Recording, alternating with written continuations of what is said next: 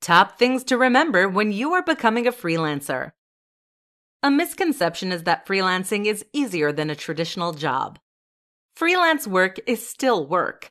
In all honesty, freelance work may even be harder in terms of individual responsibility, at least, than regular work.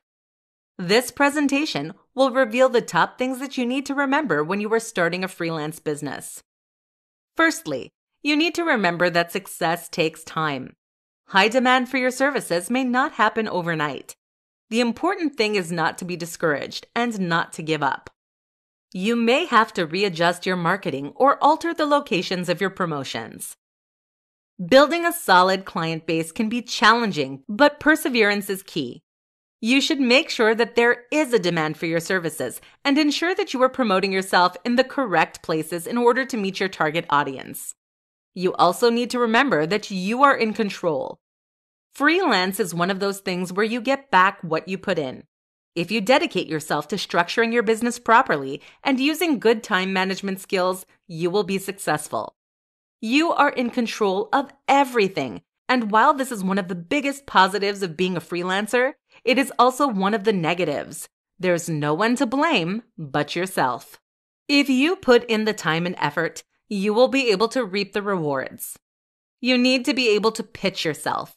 It is not enough to just have a website listing your services. You need to advocate for your business and seek out clients. Being able to pitch yourself and outline what you can do for potential clients is something that sets good freelancers apart from the rest. You should learn to advocate for yourself and seek out clients. You do not have to wait for them to come to you.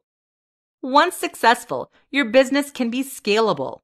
As your business grows, you may find yourself able to hire employees or outsource elements of your work. A freelance business does not have to be a single employee. Once your workload increases, you may choose to hire a team. You can change your business as you please. If you wish to change your niche, you can do so. If you want to scale back your working hours, you can do so. It is all up to you. The successes and failures of your freelance business depend entirely on you, your work ethic, and your goals. You will need to do a lot of research. You will need to understand your service, your industry, your competition, as well as understanding how to run a freelance business. Research is the best way to ensure that you are clear on everything relevant to your business. By keeping these things in mind as you proceed with your freelance career, you will be able to make the most of it. The most important thing to remember, however, is that you are in control of the success of your freelance enterprise. This means that you should not just proceed in doing something that is not working in the hope that it will one day. Update your strategies and improve your content. With freelance, you get back what you put in, so make sure that you put in the work and give your business the best chance of success.